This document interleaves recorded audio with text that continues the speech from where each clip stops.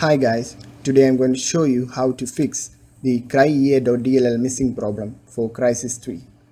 First of all, you have to download the cryea.dll zip file.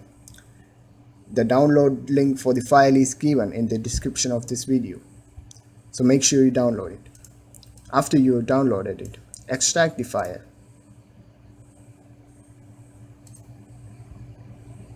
So the file is extracted, you can see a cry ea.dll file. So copy the file and paste it in the game directory.